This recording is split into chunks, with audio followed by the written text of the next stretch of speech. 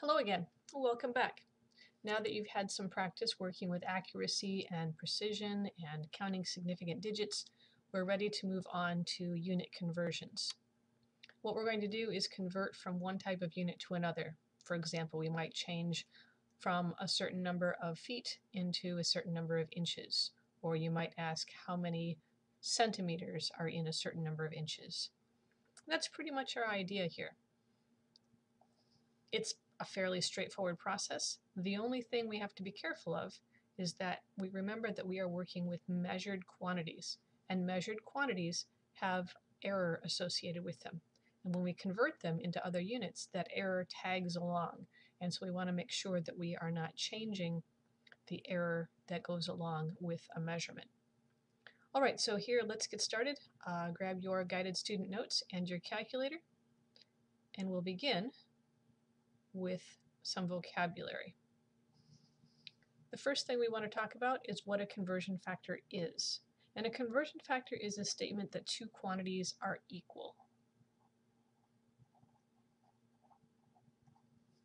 Or if you want to be picky about things, we could say they are approximately equal.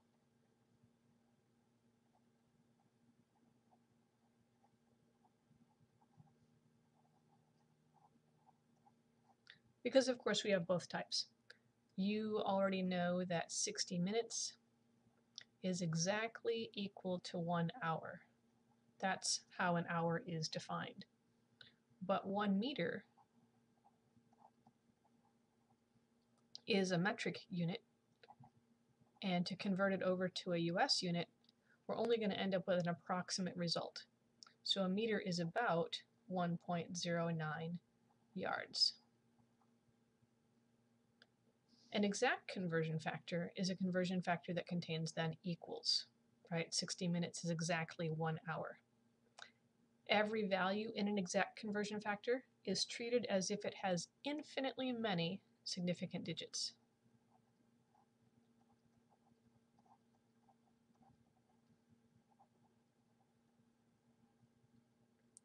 An inexact conversion factor is a little bit different. By now you've probably figured out that the inexact conversion factor has the approximately symbol in it. So that's like this one up here, one meter is about 1.09 yards. The one, the first part of the inexact conversion factor is treated as an exact value.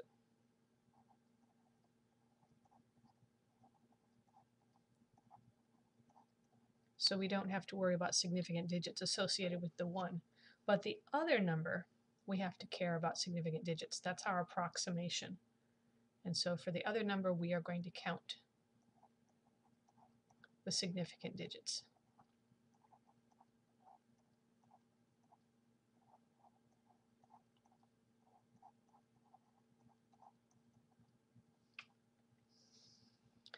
Okay. The key to doing all of these unit conversions are unit ratios. A unit ratio is a fraction. It's a special kind of fraction because the value is equal to 1. And the thing that makes it interesting is that it has a different unit in the numerator than it does in the denominator.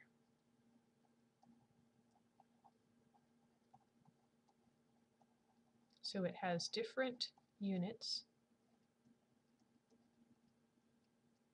in the numerator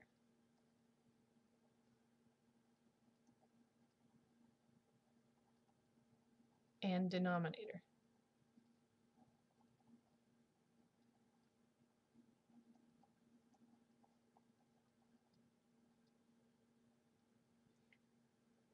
Okay, so let's take a peek at those.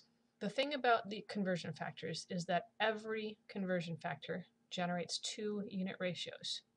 Um, we had 60 minutes was equal to an hour a second ago, and so a unit ratio for that conversion factor would be 60 minutes in the numerator and one hour in the denominator.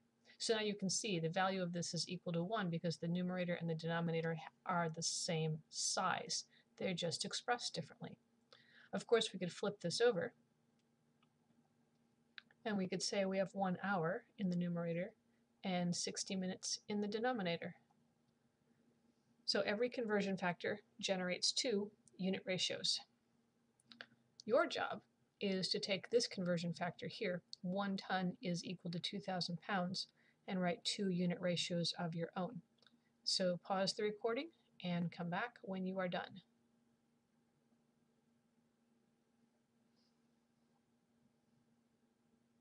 And hopefully your answer looks like that.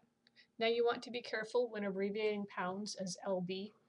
Use uh, maybe a script L or something. Look at your paper for a second and ask yourself if what you wrote might accidentally be misread as having a 1 at the end of your number. Does it look like 2000 or does it look like 20,001? And if it could possibly be misread as 20,001, then start making some script L's instead of straight lines for L's. Okay, anyway, Unit ratios are used to convert units. That's the whole point. And we'll show you how this works in just a second. Before we do that, let's flip the page and look at several conversion factors.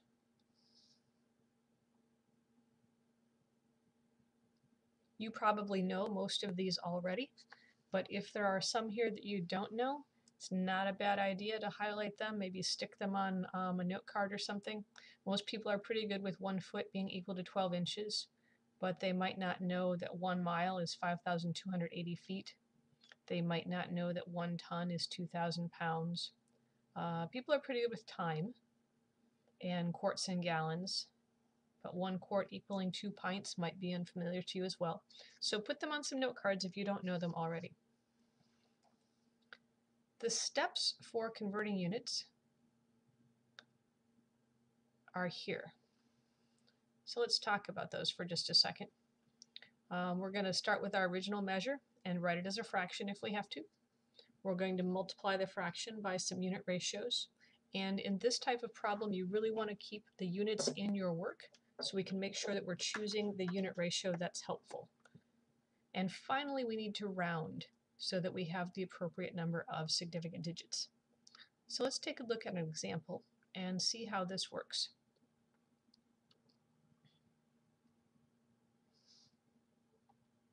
Try to keep our steps visible here.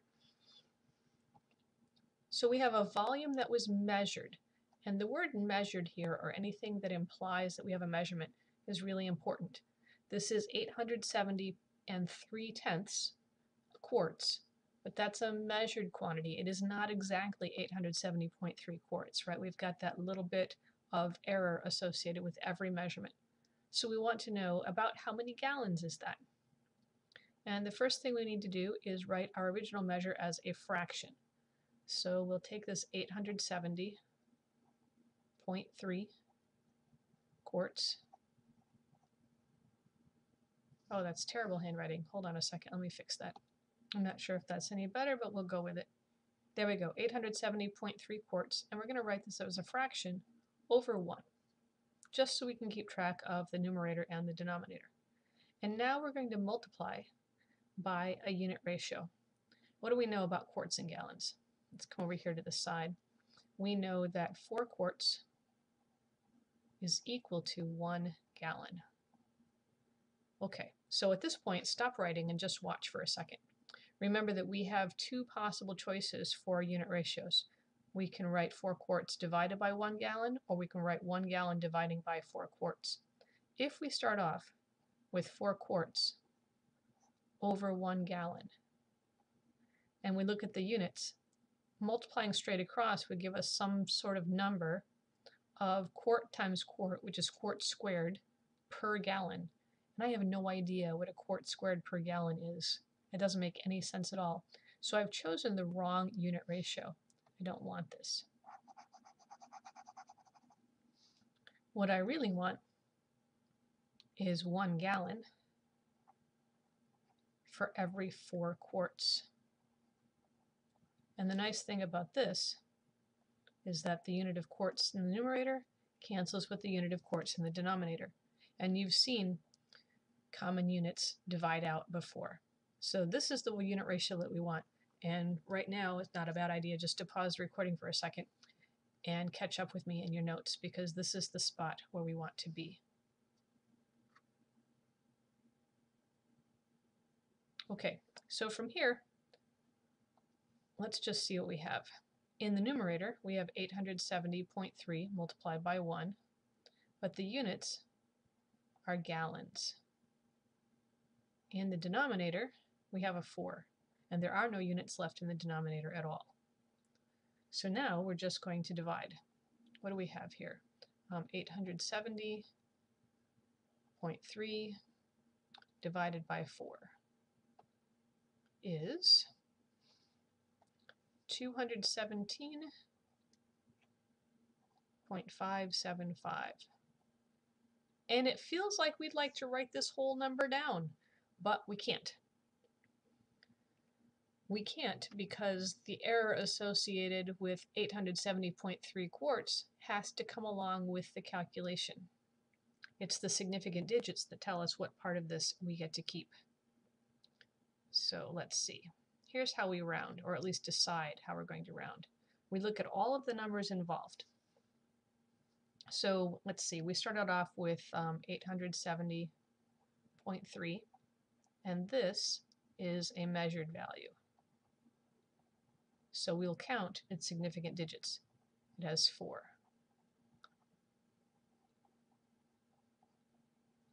We have one quart. That was part of our conversion factor. It's an exact value. So it has infinitely many significant digits. We also have a value of 4 in there for the 4 quarts, and that's also part of the exact conversion factor. And it has infinitely many significant digits. And the rule is when we're multiplying or dividing, we want to round the final result so that it has as many significant digits as the value with the fewest significant digits. So this is what we're going to use. Four. Four significant digits. So we'll take this uh, 217.575 and round there, which means our answer is 217 round here, 0.6 gallons. And that's pretty much it. Fairly straightforward. So let's try a couple of others. The fact that we are measuring makes all the difference in the world. The error that's associated with your initial measurement is should be the same error that's associated with your converted measurement. And let's take a look at what a difference this can make. Let's flip to the next page. Okay, the greatest possible error of measurement is determined when the measurement is made. And that's really important.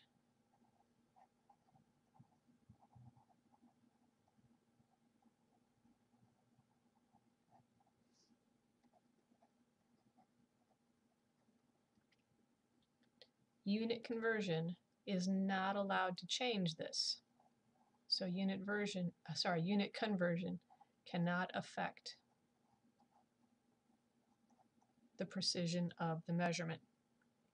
Okay, so let's talk about seven feet.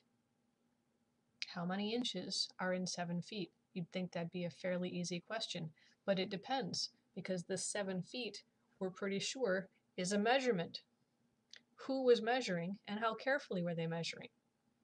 So let's start with an example where somebody is just looking at something and saying, ah, I think that's about seven feet long. If you're estimating visually, well, there's a pretty good chance that seven feet is, uh, well, the right way to say things, and that the true length is sitting here somewhere between six and a half feet and seven and a half feet. Right, we're just rounding to the nearest whole foot. People do this all the time. All right, so let's see what would happen here when we start converting. Just like before, we're going to write 7 feet as a fraction over 1. we're going to multiply by a conversion factor, and we have a choice. Do we want 12 inches in the numerator and one foot in the denominator? Or should we flip that fraction upside down and have one foot in the numerator and 12 inches in the denominator? And the easiest way to do it is to start with the denominator. We already have feet in the numerator, so let's put feet in the denominator. One foot is worth 12 inches. Just like before, we'll watch those common units cancel. 7 times 12 is 84. And the units that have survived are here. Those are our inches. So there we go, 84 inches. And now it's time to round. Yeah, we have to round. We can't just leave it at 84 inches. If you say 84 inches, then you mean something that rounds to 84 inches and we'd be have that greatest possible error of half of an inch. But before we had a greatest possible error of half a foot. Those aren't anywhere close to the same size. So we have to take that original error and make sure it translates when we convert the units. So here we go. Let's round. What numbers were we using? We used 7 feet. That was a measurement.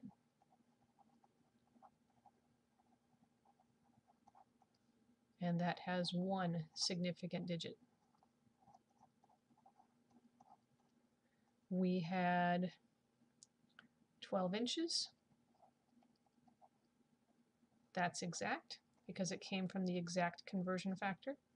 It has infinitely many significant digits.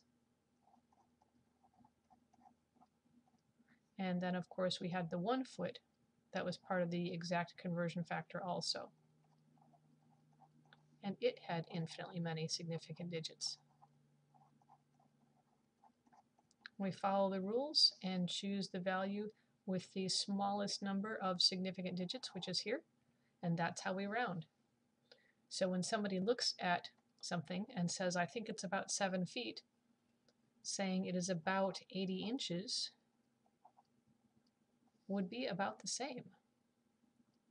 Because if we say 80 inches and we've just got that one significant digit there, we're rounding to the nearest 10, and the true length is between 75 inches and 85 inches. And that's about the same as being between six and a half feet and seven and a half feet. It feels like a fairly wide span, and this span here is about the same size as this span here. Okay, well let's say we didn't look at something and just guess that it was seven feet long. Let's say we pulled out a tape measure. If we pull out a tape measure, then things change a little bit, right? We have a little more precision attached to our measurement. Our tape measure probably goes to the 16th of an inch. And if you divide 1 by 16, you can see it's fairly safe to assume that we get at least the first decimal place. And so we would be okay in saying this is 7.0 feet. I know you'd think that that 0.0 wouldn't matter at all, but it does. It's not going to change the calculation in the middle, but it does change the greatest possible error that comes with your measurement. This 7.0 feet means that the true measure is somewhere between 6.9 feet, sorry, 6.95 feet and 7.05 feet, right? Things that would round to 7.0. So when we get all the way done, we would come back to the calculation we had before. Let me slide back up here. There we go, this one it's not going to look any different. We're still going to end up with 84. The question is, how much of that do we get to keep? The 12 inches and the 1 foot are still parts of an exact conversion factor, so they're not going to change. But now we have 7.0 feet as our measurement. And that has two significant digits. So now we can say that 7 feet is about 84 inches. Notice that we're not saying it's exactly 84 inches. We still have some error here. with two significant digits, that true length is between 83 and a half inches and 84 and a half inches. So the span here and the span here are about the same size. And so that's the thing that matters when you're working with measurements, is to convey to people the precision of your measurement so that they know what sort of span you have for the true value. And we can maintain that when we make conversions. Okay, so let's just start becoming fluent at this now. And we'll give this one here a shot. We have a weight that measures as 175.4 ounces. We want to turn this into kilograms. I will tell you that one kilogram is about 2.20 pounds, and you should already know how many ounces are in a pound. Write that down. Hopefully you said 16 ounces. All right, so here we go. Step number one, 175.4 ounces. Do something so that the O doesn't look like a zero. A lot of people write OZ in cursive, so they're hooked together. Anyway, 175.4 ounces over 1. And now we will start to multiply. What do I know? Well, I've got ounces here, so we're going to use this conversion factor first. We have one pound worth 16 ounces. Units of ounces cancel. If I were to stop my calculation here, I would end up with a certain number of pounds, but I don't want a certain number of pounds. So I want to take this one kilogram is equal to 2.20 pounds, and I'm going to put the 2.20 pounds in the denominator so that the common units will cancel. Pounds cancel with pounds. And then we see what we have. All right, here we go. 175.4 divided by 16 and then divide again by 2.20. And that's what we have. Let's write this down. 4.982954 stuff, stuff, stuff, stuff. And those, of course, are kilograms. All right, so now the question is, where should we round this number to? We're not just going to pick any old spot that we want. We're going to do this carefully. So your job is to look here at step three, at all of the values that got used in this calculation, and decide whether or not they are exact or inexact. And inexact means like measured. Give it a shot, see what you can do.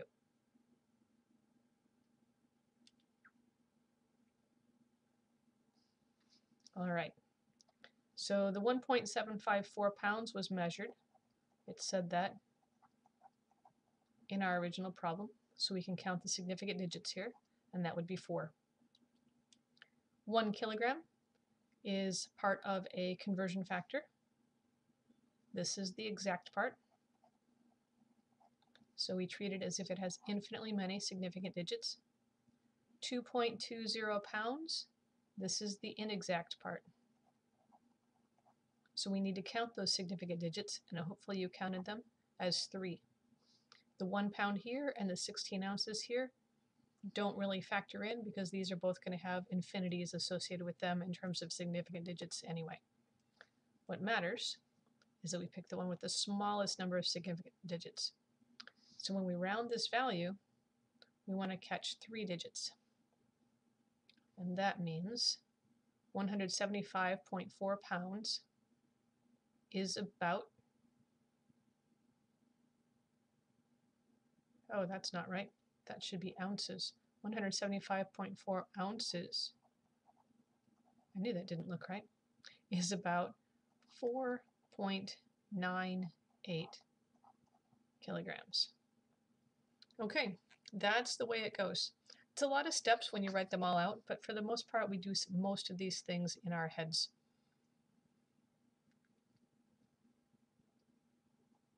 Let's try one more. We don't have quite so much clutter here.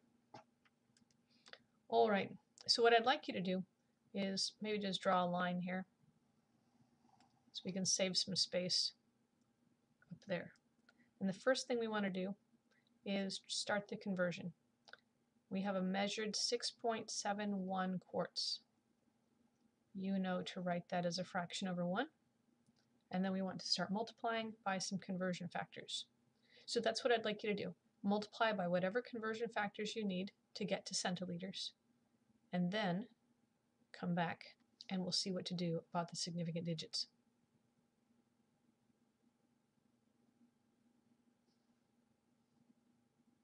So hopefully you multiplied by 1 liter over 1.0567 quarts first, and you watched the units of quarts cancel, and then you multiplied by 100 centiliters in every 1 liter, and you watch those units of liters cancel, so that everything comes out now in centiliters. When we calculate, we have 6.71 divided by, whoops, that's not right, 6.71 divided by 1.0567, ah, 6, 7.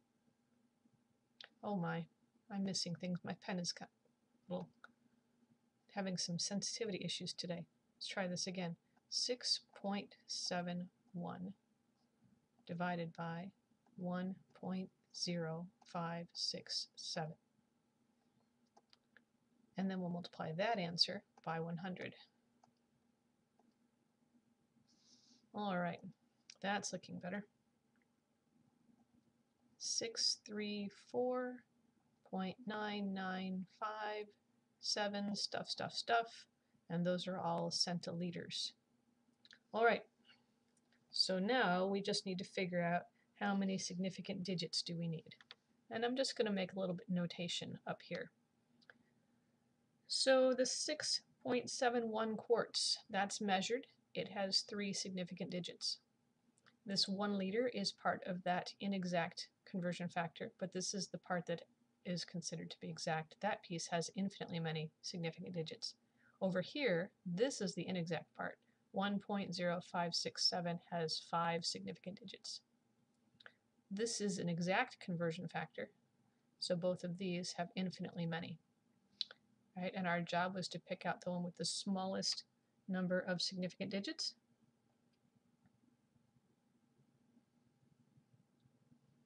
So we would need to do our rounding here. And that would mean a volume measured as 6.71 quarts is about 630 round to 5 because of the 9 over here centiliters. There, not so bad, right? Okay, let's flip the page and see what else we have going.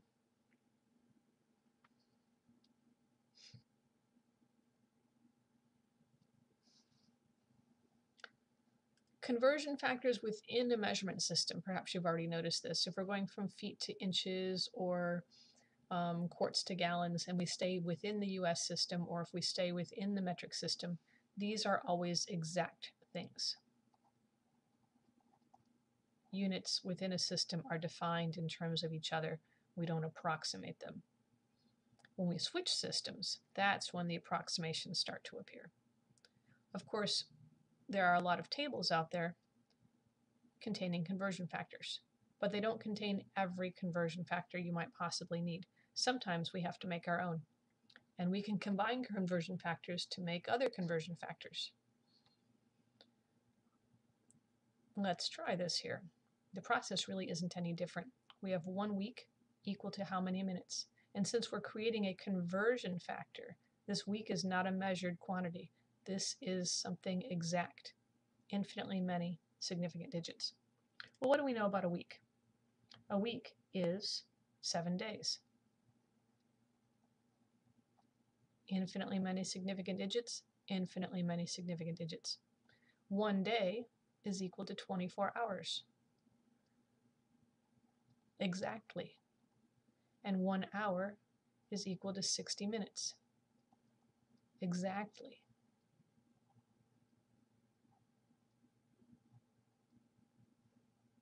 So everything here has infinitely many significant digits. And that will change things just a smidge, not a lot. Let's start with what we started off with before. This is going to be the place we start just like it was. One week over one. You've seen things where we've had to use multiple conversion factors before, and they've generated more than one unit ratio. We would need to take uh, seven days in one week. Watch the units cancel. And then multiply by 24 hours in one day watch the units cancel, and then multiply by 60 minutes in one hour. And watch the units cancel. Oops, wrong color. All right, so now we're ready to calculate. We have 7 times 24 times 60 and we end up with 10,080. And the next question is about the rounding. And we don't have to round it all because everything that we used was exact. We should probably write that down. No rounding necessary.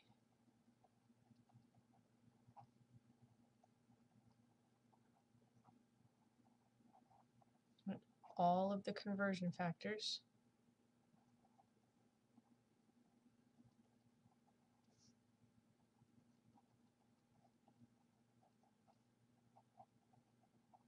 Were exact. So one week is exactly 10,080, whoops, and these are minutes. Minutes remained here as the only unit that didn't divide out. All right, so now your job is to do this last one. And the only thing that's going to be different here is the fact that we have one exact conversion factor and one inexact conversion factor. Pause the recording, give this a shot, and come back when you're done, and we'll see how you did.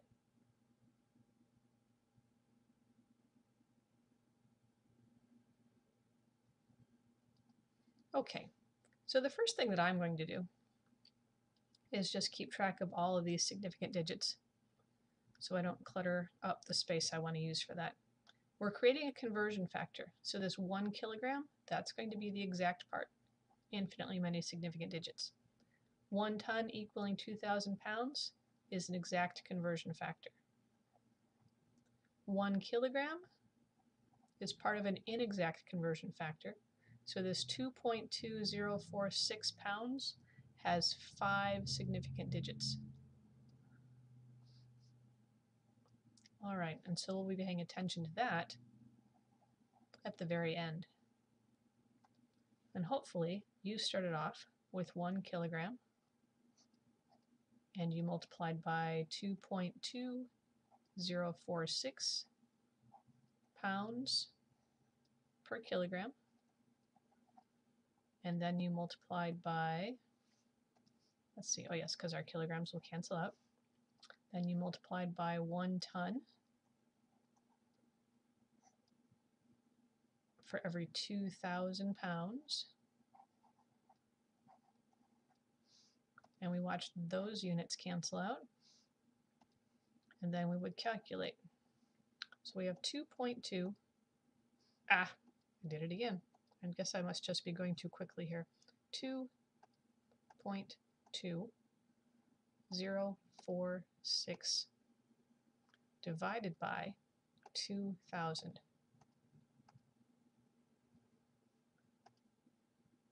And that's a very small number, which we expect because a kilogram is um, comparable to a pound, and a pound is nowhere close to a ton. It's a very, very small part of a ton. So we have 0.00111023 tons. And we decided that we were going to keep five significant digits. And these zeros up front, remember those are not significant. The first significant digit is the 1. And so the five digits are right there. We actually don't have to round anything at all. All right, so we give ourselves some notes here.